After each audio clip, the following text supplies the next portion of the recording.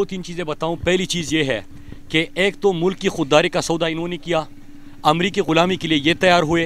पाकिस्तान की इलेक्टेड हुकूमत के ख़िलाफ़ जो रिजीम चैन ऑपरेशन हुआ, ये अलाकार बने। इन्होंने पाकिस्तान की आज़ाद खारजा पॉलिसी का सौदा किया। सहूलतकार भी लोकल यहाँ पर मैसर आए। और फिर क्या किया कि मई पाकिस्तान की मीशत का बेड़ागर कर दिया। सत्रह जुलाई के इंतबात में हर मुमकिन कोशिश की। तमाम ज़मीनी ताकतों ने नज़र आने वाले और नज़र ना आने वाली तमाम ताकतों ने भरपूर कोशिश की एफ़ आई भी किए, हमले भी किए पर चापी भी पड़े। लेकिन शिकस्त क्यों हुई? क्योंकि कौम अल्लाह की मदद से कड़ी है अमरीकी गुलामी और इनको शिकस्त हुई। ये कार्रवाइयाँ ये कर रहे हैं, ये बोखलाहट का शिकार है।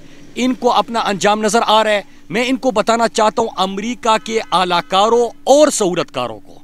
मैं बताना चाहता हूँ किसी जनाजे पे जाओ, किसी शादी में चले जाओ, किसी चौक पे जाओ, किसी चौराहे पे खड़े हो जाए।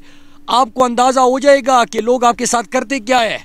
आपने पाकिस्तान की खुददारी को भेजा था एक शख्स खड़ा है पाकिस्तान की हकीकी आज़ादी के लिए। कौम उनके साथ खड़ी हुई है। ये कहते हैं कि 22 करोड़ भी सड़कों पर निकल आए। तो आ जाएँगे निकल आएँगे थक जाएँगे घर चले जाएँगे चाय पी लेंगे और सो जाएँगे। अच्छा मुराद भाई मुझे ये बताएँ गाड़ी के शीशे टूटे हुए हैं कपड़े किया है तशद किया गया। आपने हालत देखी उसकी? आपने ट्वीट किया उसके साथ जो किया है गाड़ी के शीशे तोड़े उन्हें तशद किया उसको घसेटा और ये अगवा करके लेके गए हैं। सादा कपड़ों में लोग थे। कौन है इसके पीछे? तो ये तो आप पूछिए इस मामले क्या पूछोगे मुझसे कि कौन कौन है रात को पुलिस वैन खड़ी हो जाती है हुकूमत हमारी है।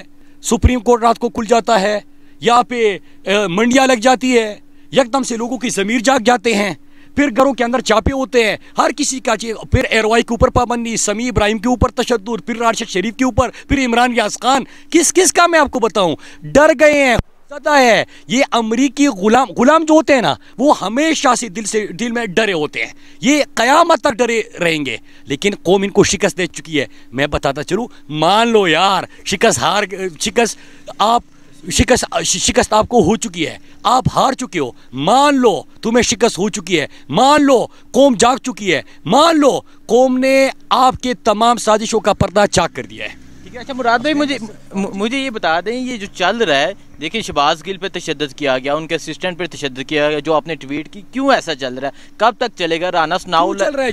एक चोरी करो गलत तरीके से आओ अमेरिका की गुलामी करो वहाँ पे उनके साथ बातचीत करो और आपकी सारी प्लानिंग खराब हो जाए कौम सड़क पे निकल आए?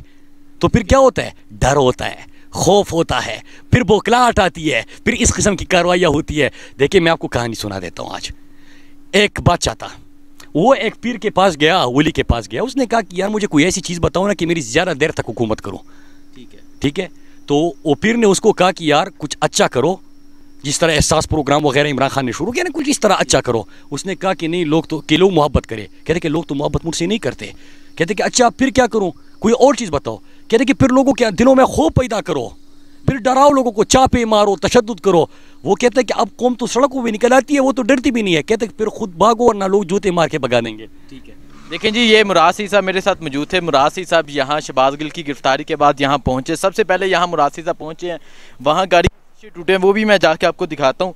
और यहाँ से इस चौक से शबाज गिल को गिरफ़्तार किया गया, उन पर तशद किया गया, गाड़ी के शीशे तोड़े गए, उन्हें अगवा किया गया। आहिर कब तक ऐसा चलेगा आहिर कब तक ऐसा करेंगे, ये जुल्म इन एक दिन ख़त्म हो जाएगा। आगे चलते हैं, आगे जाके वहाँ जो मौजूद लोग थे, जिन्होंने अपनी आँखों से सारा मामला देखा, उनसे जाके बात करते हैं, पूछते हैं आहिर क्या मामला था?